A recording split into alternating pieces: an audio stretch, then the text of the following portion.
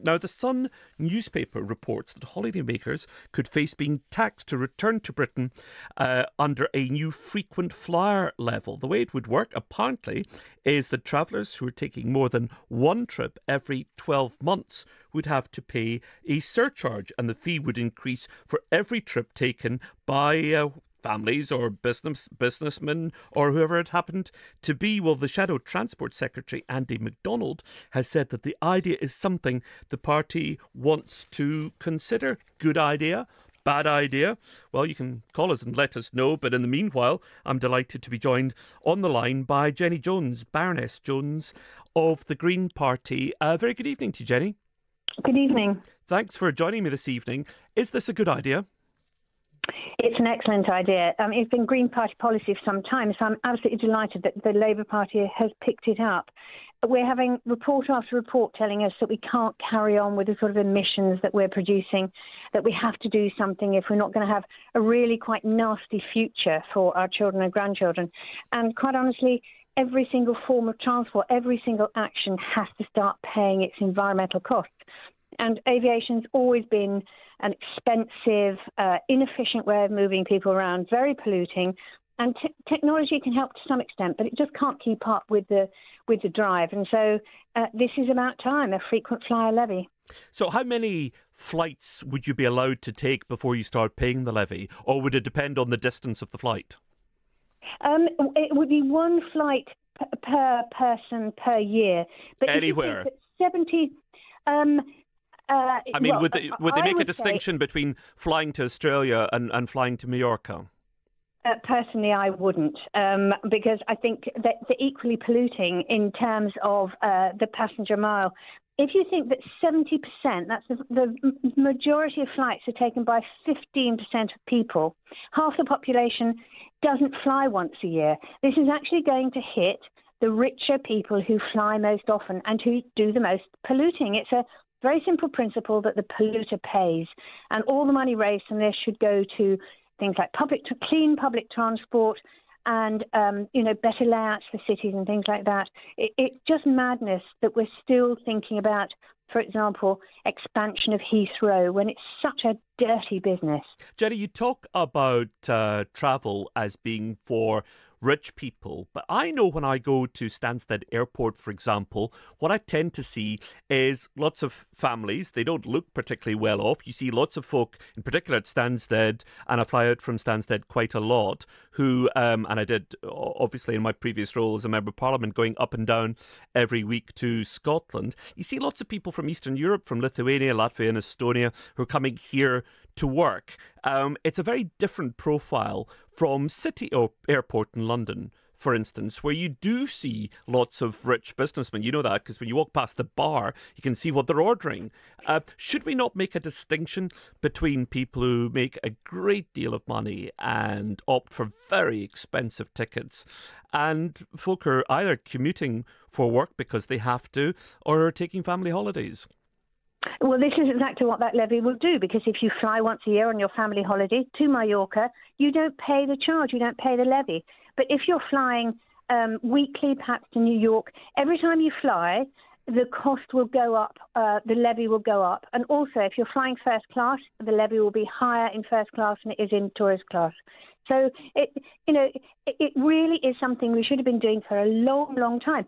And what I would say is to anybody who thinks this isn't a good idea, I would say, what's your plan to keep CO2 emissions from air travel within safe limits? When I say safe limits, I'm talking about a world that would be much, much harder to live on if, if we, we don't have safe limits. So, what other alternative is there?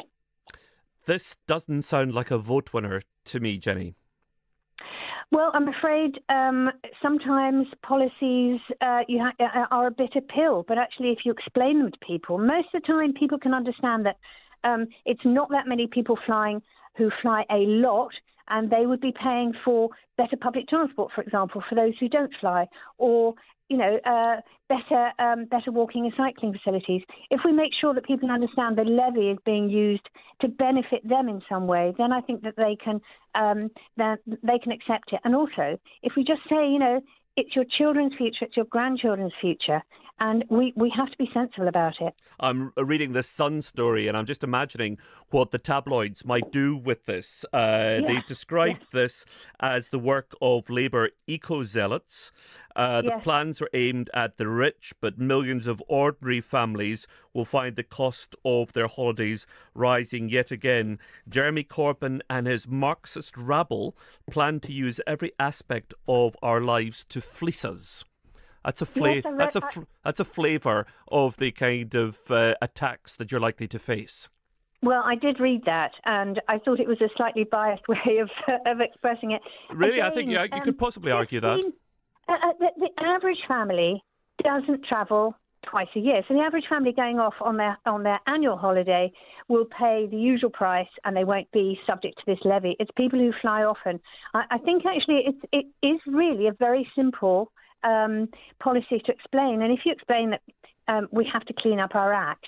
Um, and it's the richer people who are who, who are polluting most. And I think people do understand why this has to happen talk through the costs for us. What kind of charges do you anticipate um, uh, levying against people if they travel for a second time or a third time? So, for example, if I go to if I go to Mallorca once under your plans, I'm not going to pay anything. If I go to Mallorca a second time with Ryanair or EasyJet or whoever, how much extra will I pay? What will the penalty charge be?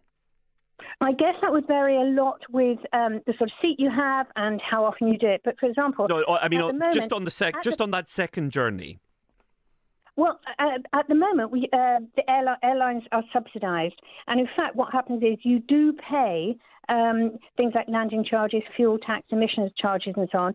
What at the moment you pay something like thirteen pounds for your travel. I mean, we could scrap that air passenger duty that people already pay and just apply the tax differently. And so I would imagine at first it could be very similar to what people pay on air passenger duty, but escalating quite fast because what else can we do? So, third, I just wanted CO2 to emissions down to a, an acceptable level so that we in the future actually have a planet that we can live on and feed ourselves on. Sure, I just want read... to try and establish what the figures are. So you you think uh, the first time round, I'm flying to Mallorca. I'm going. I'm not flying any kind of posh airline. I'm going EasyJet. Mr. Nicolson, I do not have. I haven't done the maths. This is a Labour Party policy. Admittedly, um, no, no, but I'm, I'm, I'm talking about your proposals because you said the, the Labour Party were, were copying your proposals. So under your proposals, I'm interested in your proposals. Um, so uh, my first we journey, I don't pay anything we... extra. How uh, how much do I pay for my second journey? How much would it escalate? I, I'm just I think people would like to know what the figures are. Well, I'm sure they would, and I'd like to know as well. But we no, haven't no, green policy because we are not even close to having this yet.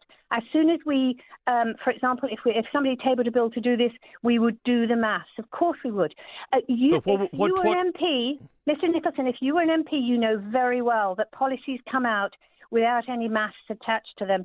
And oh no, that's not true. If, that's a, if, if, looks, if, you come out with a policy, if you come out with a policy with is going to be applied, then the maths is done and it's done very quickly. If, Quite honestly, uh, uh, if you don't think this is a good idea, you haven't said if it's if you think it's a good idea or not. But what is the alternative? How do we encourage people to fly less? And flying is incredibly polluting. Yes. And um, and you know, uh, at some point, somebody has to be very tough on this sort of activity. What I'm trying to do is to get to the bottom of what your existing policy is. So, of course, I'm not asking you about uh, Labour's figures. I'm asking you about your figures because you, you made the point at the very beginning of this interview that uh, Labour was uh, simply adopting a long standing green policy. And I don't agree with you that uh, politicians uh, on long standing policies don't have the figures. They have to have the figures because otherwise they get taken apart in the course of election campaigns because people want to know what the figures are. So that's why I'm just quite keen to know what a typical uh, family would pay for a second journey, what the figure would be for a second journey. The first time they cross over from the initial journey that they're allowed under your proposals, the second journey, you know, what, what would they be charged for a, a relatively short route inside Europe under existing Green Party policy?